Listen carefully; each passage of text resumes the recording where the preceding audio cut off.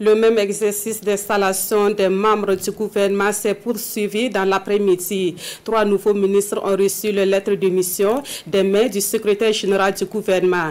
Il s'agit du ministre de l'Énergie, des ministres des Carrières, du ministre des Sports, de la Jeunesse et de l'Emploi et celui de la Communication, de la Culture, des Arts et du Tourisme, porte-parole du gouvernement. Roger Kam et Draman Guinée et le compte à rebours est lancé pour Simon-Pierre Boussim dans le gouvernement de combat au service du peuple. L'économiste de 40 ans prend service ce soir même à la tête du ministère de l'Énergie, des mines et des carrières. L'insécurité, la crise économique mondiale sont des épreuves qui rendent difficile la mission, mais pas impossible. La difficulté de la tâche qui nous attend n'implique pas une politique de table rase, qui consiste à jeter le bébé avec l'eau de bain. Il s'agira pour nous de perpétuer les bonnes pratiques déjà existantes et de réformer les mauvaises.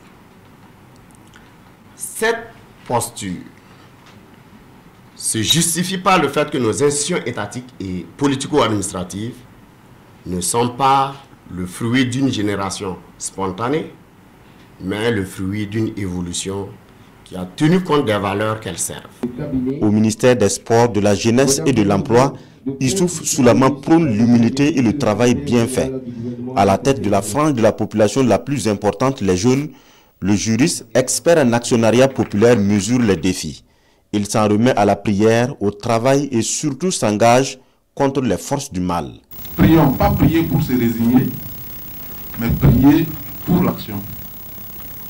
Et pour être solennel, je dirais que je suis le premier VDP de ce ministère. Donc je suis engagé. Je suis VDP désormais. Qu'ensemble, nous puissions apporter ce que les populations attendent de nous. Nous ne, ferons pas des chasses aux sorcières. Un journaliste porte l'espoir du ministère de la Communication, de la Culture, des Arts et du Tourisme. Jean-Emmanuel Ouedraogo porte aussi la parole du gouvernement.